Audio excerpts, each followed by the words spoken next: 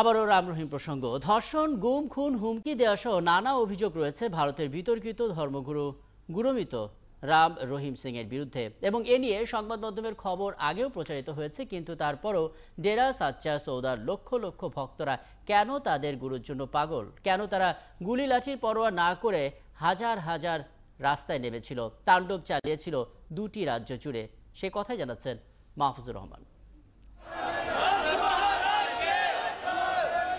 পাঞ্জাবে খলিস্তান আন্দোলন চলার সময় গুরজন সিং রাজস্থানী নামে এক উগ্রপন্থী নেতা ছিলেন গুরমিত। সে সময় ডেরার পুরনো প্রধান বেঁচে থাকা সত্ত্বেও ক্ষমতার প্রভাবে অনেক জমিজমার মালিক যুবক গুরমিতকে প্রধান হিসেবে নিয়োগ দেওয়া হয়।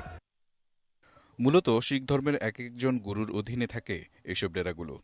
ডেরার প্রতি তাদের ভক্তদের এরকম অন্ধবিশ্বাস। তারা মনে করতে থাকে, তারা যা করছে তাই ঠিক, সত্যের জন্য কাজ করছে তারা। গুরমিত যে সম্প্রদায়ের প্রধান সেই ডেরা সাত্তা সৌদার মতো আরও অনেক ডেরা আছে পাঞ্জাব হরিয়ানায়।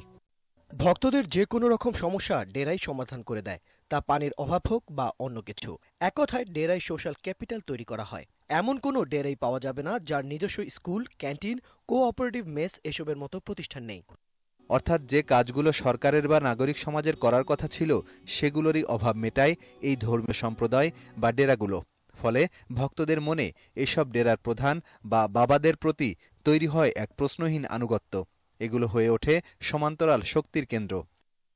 পাঞ্জাব, হরিয়ানার বেশিরভাগ ডেরাতেই জাট সম্প্রদায়ের আধিপত্য।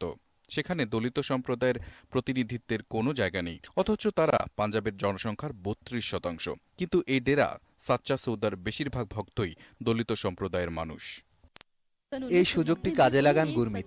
সব ভক্তদের নামের শেষে ইনসান বা মানুষ শব্দটি যোগ করে দলিত ভক্তদের সামাজিক সম্মান দেন। ফলে ভক্তের সংখ্যা বাড়তে দেখে ডেরায় যাতায়াত শুরু করেন রাজনৈতিক নেতারাও।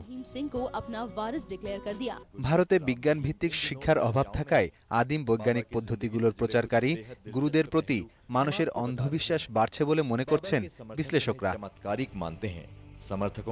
মাহফুজুর রহমান একাত্তর।